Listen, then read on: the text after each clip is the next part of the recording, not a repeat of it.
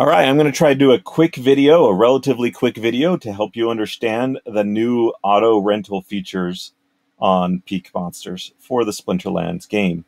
We have now a bid thing inside of the rent page right here. There's rent. So here you have all your rent and you have the price and the level and the collection power and the ROA and the CP per DEC stat. So it's all there. But now you have a bid button. And when you click it, you'll be able to bid. Now, if we refresh, I want to show you something. I actually just uh, I did something a moment ago. So now when I hit bid, this is what you're going to experience when you first log in. You have to give us rental authority. Give these accounts rental authority. So you hit confirm. All right, done. And uh, wait like three seconds or so. And then refresh the page. So now you are now working on the page with rental authority. So now when you click bid, you can start bidding on a card. So at level one, here are all the bids. So here's the highest bid is 0.111. So if you want to bid a little bit higher, you would put 0.112. Now, this does not mean that the owner is guaranteed. Like, you still have to wait for the owner to be willing to rent you that card, but it looks like there are cards available. So, um, seems doable. And uh, let's put 0.2 on that. So, actually, what about if I wanted a level 3 of this card? Oh, no bids yet. How about a level four? I want a level four. So let's do a two DEC bid. I'd be the first one. All right. And now you see the level four 2 DEC bid. So I have just moved into uh, into the silver league. So now I want to use cards at higher levels, perhaps. So and you can go in and say, okay, well, now I'm in Gold League. So now I want to go up to level six. And then you'll see that someone has bid a very low amount. Of course, it's only been a very short period of time that this has existed. So the bids haven't really filled in a lot. So jump in, you'll be able to get a few um, interesting deals. So let's just look at legendaries, for example. So here's a uh, legendary Lord of Darkness. You can also uh, click here and see some really decent or like what they're what the owners are listing it for. And then you go in here and you see what the what the renters are willing to rent it for. So there you go. So this is a match made in heaven hopefully and it's going to hopefully fulfill that one for them. So it's already gone out of the list here See, there's no 475 available, so it has already been rented out. Um, probably, well, we'll see. Um, what is the highest bid on the gin? It's 1.6. So um, that doesn't match. So there's a, a spread in between the two from 1.6 to 5.7. Someone's got to bend. Is it going to be renters more willing, or is it going to be the owners look at there's 282 cards. Um, if we checked just level ones, we'll be able to see just how many level ones there are. Where there's a ton of these cards not being rented. Maybe these owners say, "Fine, I'll rent it to you at whatever you're bidding." So, all right. So that is the per card rental system.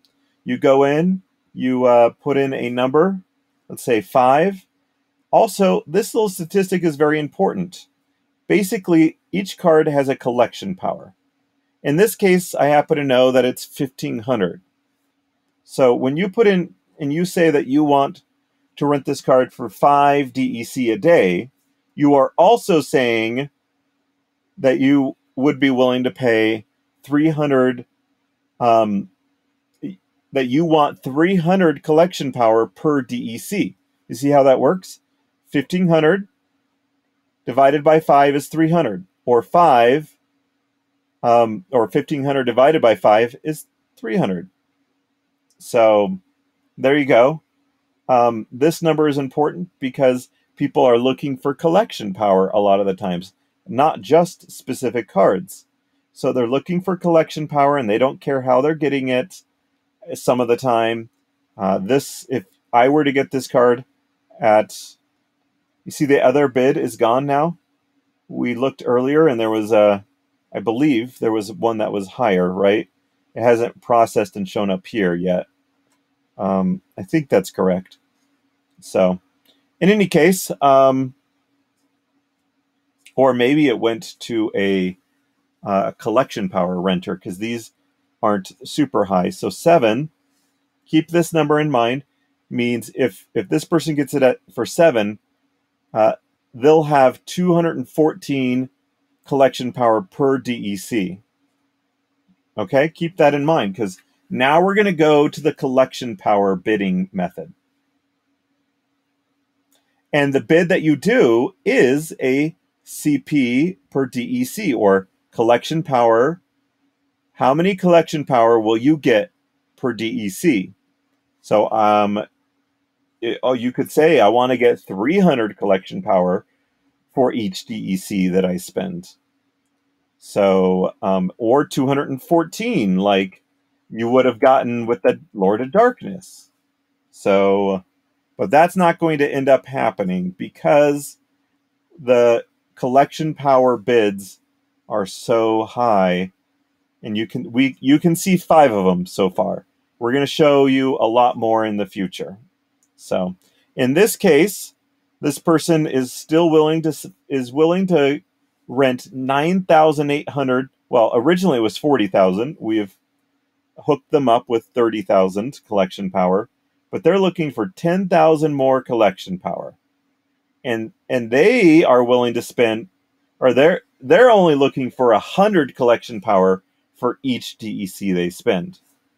And you could literally uh, divide this by 100. So 9855 divided by 100 is something like 98 DEC is what they're willing to spend for the rest of the of what is remaining. For everything, it was around 400 DEC per day. So these are very high rates. Um, what we're hoping and expecting is that uh, owners will uh, start listing their cards again uh, for a good rate. Uh, they'll see these bids and they'll see, uh, oh, someone is willing to rent a Bila the Radiant for 2.1 DEC. And I can show you here 2.1 DEC means very good collection power rate. So at the moment, it may not be willing, but look at this. Again, I want to show you this. There's 163 Bila the Radiants that haven't even been placed. Now, the rates are, you know, 82, 77 here. Um, but if you look at some of the gold cards for all this stuff, it goes up a bit higher 125, 250. Uh, but that one card is, is a 50,000 collection power. So if you are trying to rent collection power uh, and you need quite a bit of it, don't bid a really low number. You have to look and see because you could get one card um, and a much better rate at 250 collection power for each DEC spent. All right.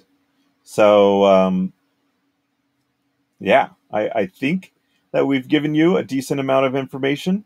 Uh, I just clicked back in here, and now that one card is all gone.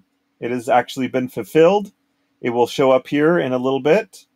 Uh, we got them their 10,000 extra CP, and now someone else has the highest bid, and they're looking for 15,000. So hopefully we can find them maybe even one card and get them a rate that's way better than the 100. Um, that would be really good, actually. So.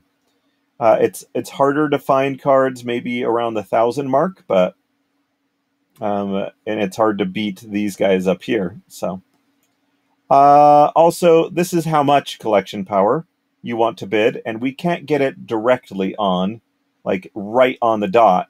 It's almost impossible. So you need a spread between the two so that we can kind of get into that range.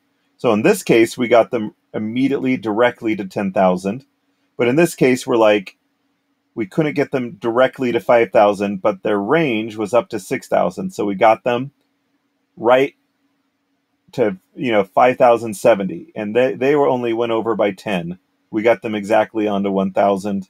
And they went over a little bit, probably because we found one exact card to get them into that range. And boom, maybe it was a couple cards. So, and then we're helping you ignore all of those tiny, tiny little cards by saying that the minimum you want is a 60 or is a 50 collection power card.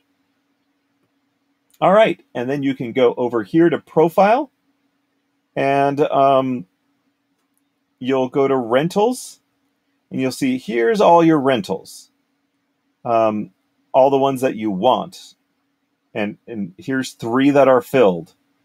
Now, if you want, you say you go out of town for several days, you can pause them. And when you come back, they'll all still be there and you can unpause it. Or if you're just like, nope, nope, nope, let's start all over again, let's just delete them all. There's a delete all or individual. So there's a bunch of things to recognize about rentals. One last thing is, again, if you're doing a collection power bid, just go through and, and figure out what is a good bid to do because maybe if you're doing gold bids, these 3000 collection power cards will you'll be able to do them whereas these people that are only renting 1000 with a maximum of 1200 they would never be able to get that card because 3000 is greater than the 1200 that they're desiring. So and this person don't do don't do this this is dangerous. We're going to help you to not have it be dangerous like that. Um, but don't put 10 that's it. This bid is going to get fulfilled very quickly. Hopefully hopefully with a good priced card because we don't try to get them at that bad of a rate. We we just take the first card that is listed. I, I wish i knew who this was and we'd see what card they ended up getting. So just saying, be careful with your bids. Um, and one final thing, I think, is that when you make bids, you are paying the Hive resource credit to make the bids or to edit the bids. If you want to edit the bid, it takes a little bit of resource credits. But renting the cards and extending them, it is auto rentals, so renting the cards and extending them is free of cost for you. We are paying all the resource credits. So I think I covered everything about rentals, and if not, please leave a question.